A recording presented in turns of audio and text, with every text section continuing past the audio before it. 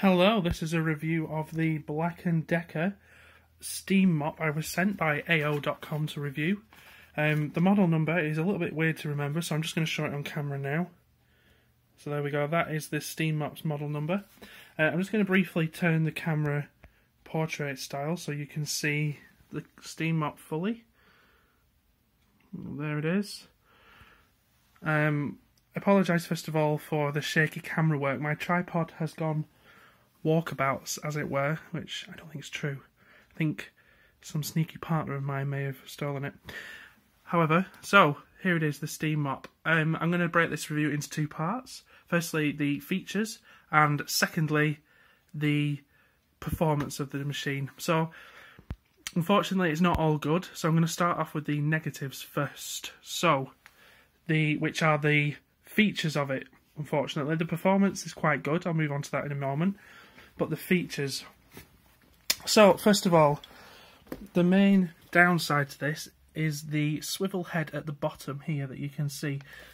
When cleaning, it is absolutely fantastic. It allows you to swivel and clean with ease. It glides across the floor. However, when the machine is stood up, after you finish cleaning, it falls. And that way whichever way, it, there's no way for this mechanism here to lock into place. So it won't stand upright. The only way it will stand upright is if propped up against a cupboard. There we go, it's propped up against a cupboard there, and it will stand up. So, storage wise, it's fine because I imagine you're going to have it in a cupboard anyway. But when you just want to quickly stop using it to get, you know, answer the door, get the phone, whatever, uh, unplug it and plug it in somewhere else. You have to prop it up against a wall. Otherwise, it will just fall. It will just fall on the swivel joint here. It's a major downfall for any machine like that. There is inferior models to Black & Decker, and I say inferior in terms of lower store brand steam cleaners which stand up by themselves. Um, it's something you'd expect a little bit more from Black & Decker. The second um, problem with it, and it, it sounds trivial, very, very trivial, is the hook at the top here for the cord. Now, on any device like this, on a vacuum cleaner or carpet washer or any device that uses a cord like this, you'll often find that there is two hooks to wrap the cord around. This one, however, the, the hooks don't turn here, and this one down here, they don't turn. So the, the, the cord wraps around perfectly, however, to unwrap it, you have to physically lift it off and over. And it, it sounds very trivial, but in the grand scheme of things, it's nice being able to undo a hook and pull all the cord off in one go. So those are two of the bad features there. The cord is a decent length. I cleaned all downstairs where I have my hard floors in my house um, with absolutely no problem at all. I'm just going to plug this in while we wait and make sure that the off switches are in that position. And right, yeah, so that's plugged in while we wait there. Um, the cleaner comes with two microfiber pads that look like this. Two microfiber pads there. Um, the the next one I'm going to show you is soiled, but I just wanted to show you the performance of it. This is what it picked up off three different floors in my house. So my 7 foot by 6 foot kitchen, my 11 foot by 11 foot dining room, and my 9 foot by 2 foot hallway. Um, use this one pad and it picked up all that dirt off it. Performance wise, it's great like that. The water tank on the top here, the water that you can see left in it, takes a bit of force to get it off. It is held in really securely, which is definitely a good point. Let me pop the camera down take that off. So the water that's left in here was the water that is left after cleaning those three floors that I just mentioned there. So there is a decent amount of water, enough to go on to do a couple more floors if you had them in your house. So you could clean quite a large area filling up from one water tank. The water tank is filled up by unscrewing this white cap here and then filling it with water and slotting it into the top of the machine here like that. That sits on there.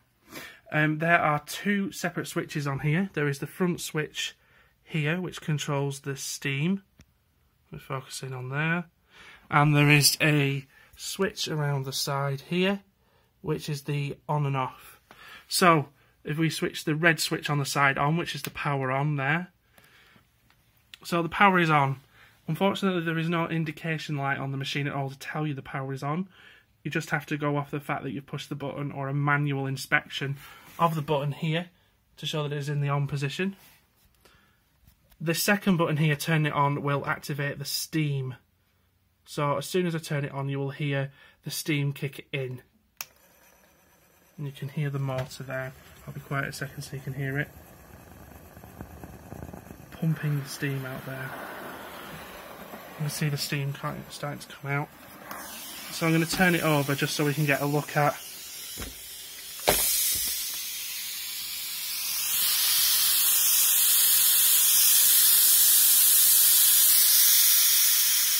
So the steam is in fact coming out of this hole here, this blue one in the middle, and it seems to be omnidirectional in terms of it, it seems to be pointing in three directions to cover all of the pad that will be on the bottom. So there is just the one steam jet there in the middle.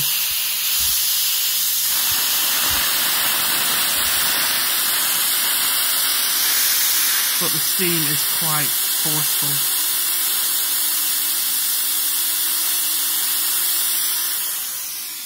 So I'm just going to turn the machine off now.